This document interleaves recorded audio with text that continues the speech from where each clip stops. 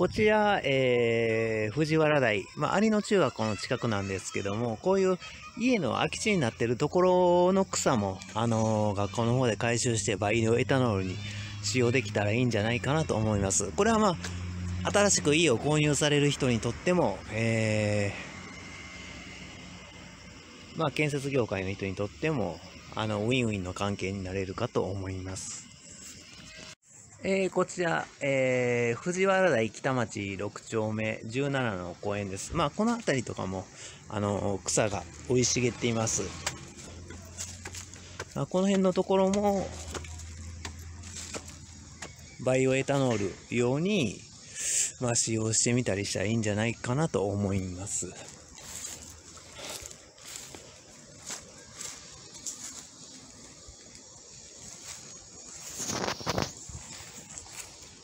今、神戸市北区、えー、有野中学校の近くの藤原台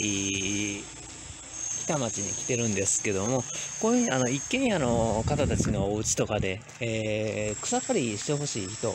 そのバイオエタノールを小中学校で作るようになったら、まあ、あのー、学生さんたちが借りに行って、まあ、授業の、まあ、時に、えー、まあ、体育の時間でもいいでしょうし、まあ、借り、借り取って、えー、バイオエタノールの元にすると。一つの小中学校の周りで、まあ、有野中学校だったら、30リットルのゴミ袋、100どころよりももっと集まるでしょうね。ああいう風なところもありますし、まあ、そこもありますし、空いてるところですね。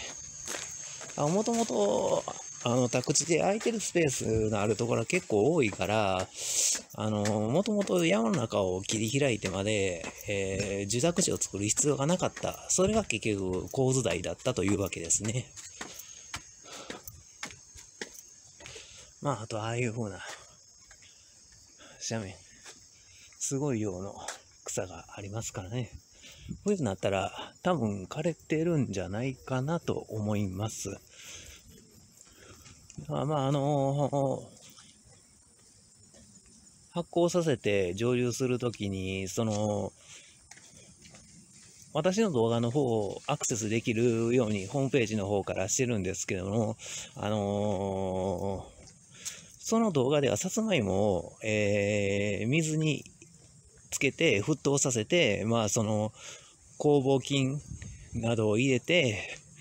まあ、作ってるんですけど、それ、もともと熱なんか加えなくていいんですよ。あの、例えばアルミ製の容器を屋外に出しておけば、密閉させてね、ほぼ、えー、夏場とかでしたら、直射日光で中は高温になるんですよ。で、中は密閉であればあるほど早く沸騰して、えー、作りやすくなるんですけども、あのー、一応圧力はかかりすぎたら、その管が破裂、その容器が破裂する可能性があるので、ある一定の圧力がかかったら、タービンを回せるような形にしておいて、えー、それはそれで発電ができると。まあ、そういうふうな仕組みが必要ですね。まあ、この辺は、あの、こういうふうな藤原台特有の山の中の、まあ、公園ですね。まあ、なかなかそこを登っていって、公園でくつがられてる方もなかなかまあいらっしゃらないといえばいらっしゃらないんですが、まあこういうふうなところだったら植林とかしやすいでしょうね。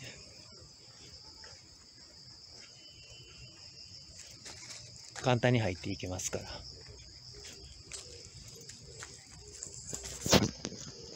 ちょっとまあ撮影これぐらいにしておきます。学校の名称だけ、ちょっと撮影しておきますね。有野小学校で会ってたかどうか名前。実はね、昔、有野小学校だったんですよ。で、藤原台にいくつか学校を作ってましたから、あ、厳密に言うと、神戸市立有野北中学校ですね。これが成績名称です。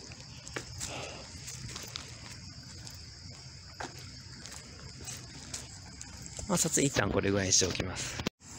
まあ、先ほどの続きですけども、これは、どっか温泉が湧いてますね。まあ、近くに有馬温泉とかありますから、こういうあの茶色い、あのー、なんていうんですかね、金属が錆びてるような色が出てきてるっていうのは、大抵、あのー、温泉が湧いてるところに見受けられる現象ですね。